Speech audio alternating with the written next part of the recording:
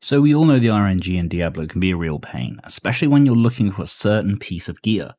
Well, today we're going to look at how to focus down and easily farm any specific item you need. And before we start, a huge thank you for everyone with the support for my last Diablo video. Definitely something I'm interested in doing more, so there'll be lots more to come. So we know how much it sucks when you're trying to find the perfect build, but you're missing that one key piece that you're looking for. Dear God, it's beautiful.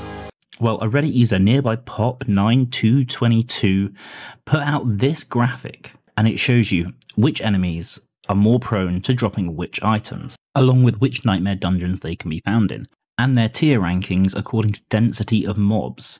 More mobs means more elites, which means more chances of getting the items you want. And if you pair that with a magic find, you're probably going to be pretty good.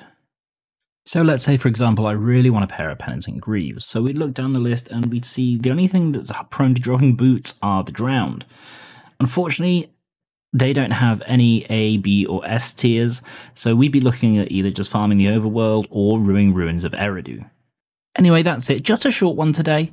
Um, thanks for watching. Make sure to subscribe for more content. I will be streaming on YouTube soon, um, coming over from Twitch, so I look forward to seeing you there.